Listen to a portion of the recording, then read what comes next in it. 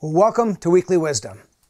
I've got one question to you today as we reflect on Proverbs. And here's the question If you have kids, do you really love your children? If you have grandkids, do you really love your grandkids? If you're an aunt or an uncle, do you really love your nieces and your nephews? Listen to this one little verse from Proverbs chapter 19, verse 18. Discipline your children, for in that there is hope.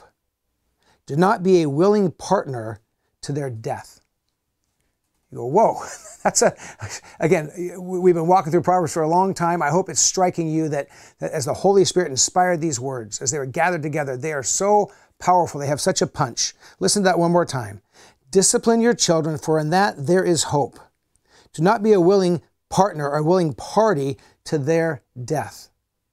A couple thoughts. Here's one discipline is expected and good. Discipline is actually a gift. If you're if you're a loving parent, if you're a loving grandparent, aunt, or uncle, now if you're a grandparent, aunt, or uncle, you don't get to discipline in the same way because you're not in charge. Uh, but but uh, there's something about discipline that is a gift. I've been meditating on this passage from Hebrews for the last two or three months, and I'll read you just a little part of it. Uh, in Hebrews chapter 12, we read these words in the second part of verse 7 For what children are not disciplined by their father? If you are not disciplined, and everyone undergoes discipline, then you are not legitimate, not true sons and daughters at all. Now, this passage is actually talking about God, our Heavenly Father who loves us. And because He loves us, He doesn't let us get away with stupid things that will eventually kill us. And, and, so, so the first thought is just to understand that discipline, when it's done right, when it's measured, we're not talking about abuse, we're not talking about cruelty, but discipline, whether it's the timeout chair, whether it's taking away a privilege, whatever, you know, whatever your method is. If you love your kids, if you love your grandkids, your nieces and nephews, you won't let them run so wild that they run off a cliff. And then, then the passage says that actually loving discipline is a source of hope. There's hope in discipline. And when I think about my upbringing, my parents, um, they had a, they both had full-time jobs and they had another full-time job disciplining me. I was a wild kid and, and yet they loved me. I, I, they must have loved me a lot because they disciplined me a lot, and I and I needed it. I really did. I don't look back and say they were mean. I look back and say that they loved me. And then it's interesting at the end of the passage, it says, "Do not be a willing party or partner to their death."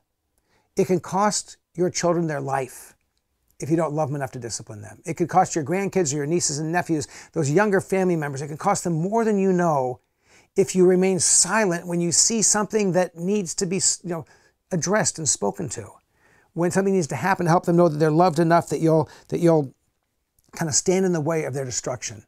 Uh, years ago, when our three boys were quite young, our oldest son Zach was learning to ride a bike. And I taught him to ride the bike in the church parking lot. We lived in a parsonage. That's a, a old-fashioned word for a house that's right next to a church owned by the church, but the pastor gets to use it and live in it. And so we lived in the parsonage. I taught him to ride his bike in the parking lot of the church.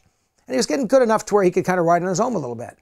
But we lived right on the corner of a busy street. And I just said to him, Zach, just never go down our driveway and out into the street. You know, go this way into the church parking lot. And even the church parking lot, there's cars there, but they drive slower. But the street was a pretty major street. And one day, I'm walking out of the garage. I see him on his bike going straight down the driveway and straight into the street. And had a car been coming either way, he could have been killed. And so I just ignored it and told him I loved him and moved on. No.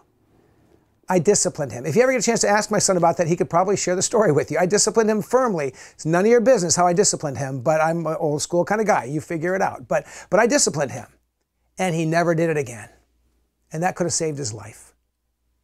So here's the encouragement. If you're put in a place where you have leadership over somebody, especially kids, love them enough to discipline them with kindness, with grace, with clarity, talk it through with them, let them know why you're disciplining them, and bring life and hope through that loving discipline. Will you pray with me? Living God, you love us enough to discipline us. Help us love the next generation, especially if we have kids or grandkids, nieces and nephews. Help us love them enough to bring great correction, kind words that are clear, that speak the truth, and bring them hope and protect their lives through the loving discipline of people you put in their lives. We pray this in your name, Jesus. Amen. Hey, God bless you. Have a great day. And if you're part of a local church somewhere, join them for worship this Sunday. If you're part of Shoreline Church, we'll see you online or on campus. God bless you. Have a great day.